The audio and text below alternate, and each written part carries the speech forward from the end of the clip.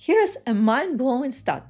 One in four Y Combinator startups are already shipping with 95% AI-generated code. So if you think vibe coding is just for non-technical users building simple applications, think again. These startups building applications in days, not months, and enterprises are racing to catch up. But here is a challenge. Most AI app builders, whether it's Replit, Lovable, or others, sit outside of your core data environment. And here where it gets expensive. Double storage costs from duplicated data, operational overhead from managing applications outside of your environment, and security vulnerabilities that bypass all your existing controls. So the real challenge isn't about building an app, it's about building one that connects directly to your data and runs under the same controls as the rest of your enterprise stack. And that's where Databricks comes in. Have you ever tried to vibe code an app on Databricks?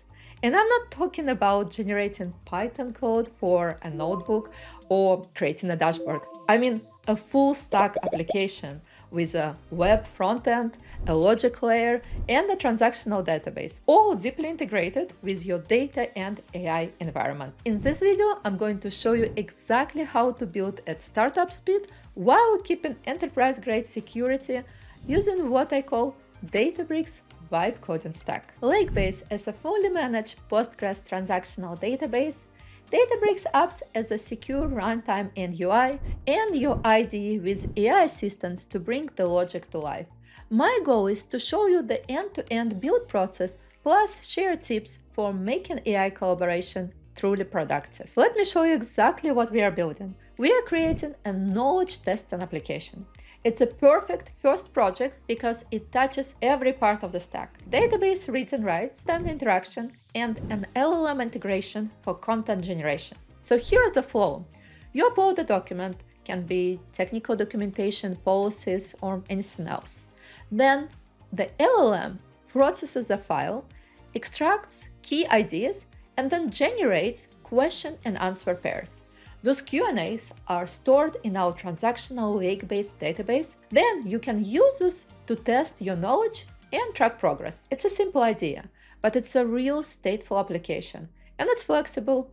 You can adapt it for HR onboarding, employee training, or a workshop knowledge checks. This is the kind of app that could replace expensive training platforms. It's a classic three-tier architecture, but everything lives inside your secure Databricks environment. Let's break it down. First, the database layer, Lakebase. No more need for data duplication. Lakebase connects directly to your existing data. It's built for fast transactional workloads and loved by developers for its open source Postgres compatibility. Lakebase is designed to power intelligent applications built on a lakehouse without the complexity of a traditional database management. It eliminates the need for custom-built complex ETL pipelines to integrate transactional data with analytics and AI ML environment. And what makes it truly stand out, its architecture that separates storage and compute and offers high throughput, low latency, and reliability with enterprise security features. Next, we have Databricks Apps, our secure serverless runtime for the web and application layer. Apps run on provisioned serverless compute, so you don't have to manage it yourself. You can start quickly with templates, and everything is integrated with Unity Catalog. Authentication, fine-grained permissions, and audit trails are built in. Applications also come with production-ready Git version control and CI/CD pipelines, making it simple to manage and scale. Finally, the logic layer, where development happens. Here's the key. We are not just asking AI for code. We are practicing context engineering, giving the model the right information in the right format so it can perform effectively. I will be working in Cursor, but the same principles apply in VS Code with the Databricks extension or pretty much any IDE of your choice with AI coding agents.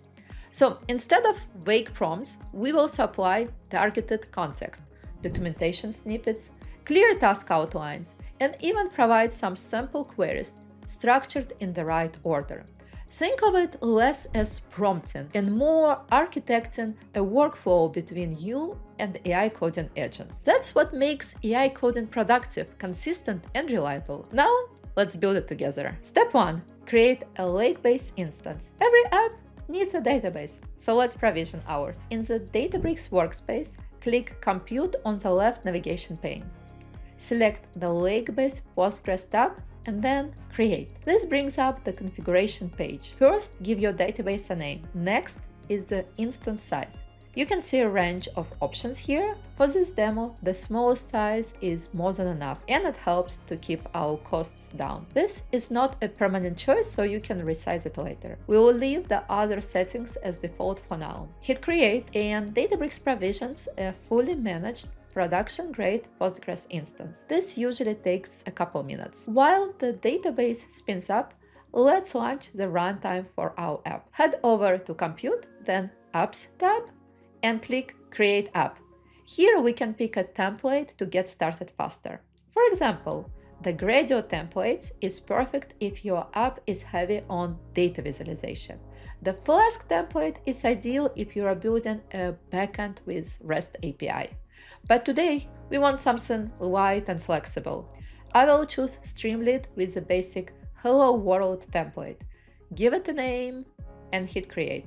So now we've got our scaffold. Now let's wire things together. We need to explicitly grant our application access to resources and configure permissions. In the app settings, open the app resource tab. First, attach our Lakebase instance from the dropdown. Then let's add an LLM. We need to select an endpoint. You can see the whole list of available models here. Proprietary models from OpenAI, Anthropic, Google, and also powerful open source options like Llama. This flexibility is a huge advantage.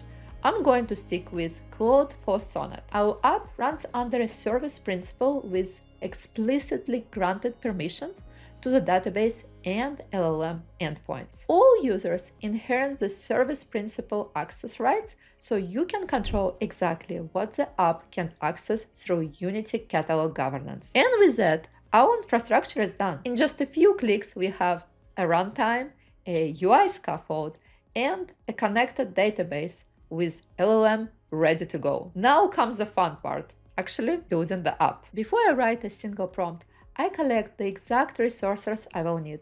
That might be documentation for connecting to Lakebase, a specific Python library documentation for parsing PDFs, or might be some kind of API calls for the LLM. And I do this research and identify resources. Then I provide this information.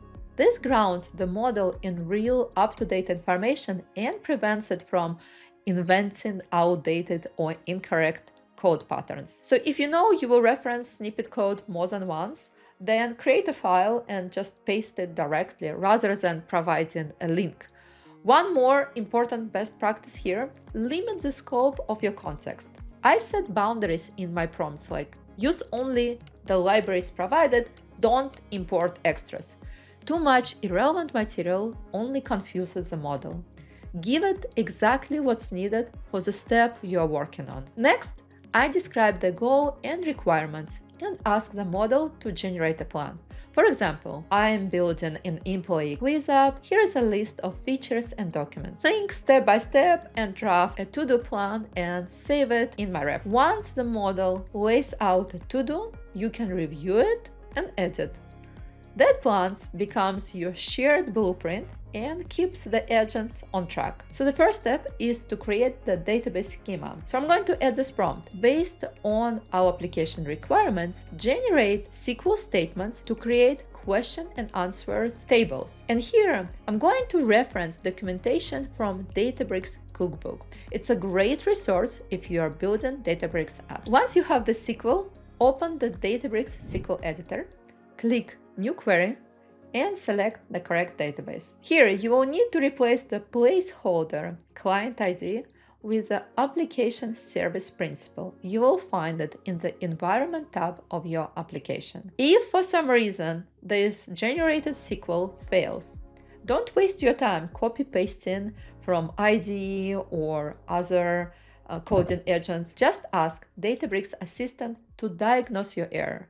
It will suggest you a fix and then when you get working code, then paste it back to the model so it remembers the correct version. This feedback injection keeps the context clean and prevents the model from repeating the same mistakes. Something will always break, and that's fine. The key is to help model to troubleshoot it. Don't just say fix it.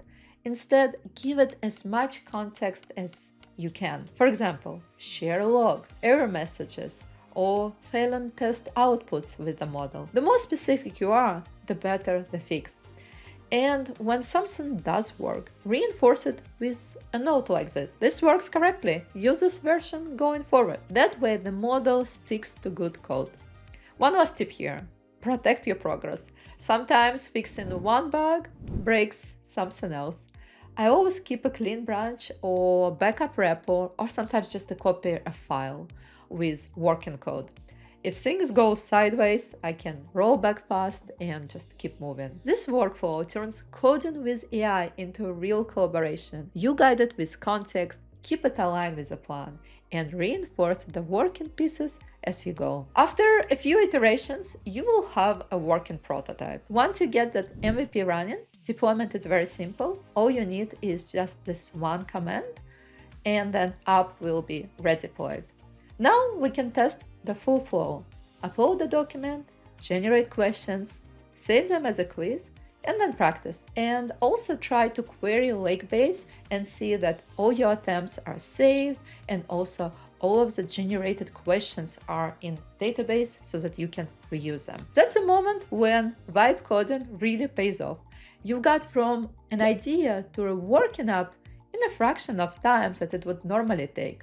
And as you prepare to share this app with your team, you can set up different authorization options. Our app currently uses service principal permissions, but you can also enable user authorization, where each user's existing Unity catalog permissions will automatically apply. For example, if a table limits US users from seeing European data, the app automatically enforces these restrictions. You can see these controls under the user authorization section. So let's recap what we just accomplished. We went from idea to a working app. We used Lakebase for data, Databricks apps for runtime, powered it with Claude Sonnet 4, and utilized vibe coding in our favorite IDE. But here is the real win. We did this without sacrificing enterprise security or creating data silos. Everything runs inside our existing governance model. And this is just the beginning. You could swap out the starter UI for something more polished or integrate Delta tables so your app generates questions directly from your enterprise data instead of PDFs. Know if you'd like to see this as part 2. You will find these examples in Databricks Cookbook and I will leave all of these links in the descriptions of this video. And if you build something cool with this tag, please drop a comment. I really would love to see what you create. Thanks for watching and happy vibe coding!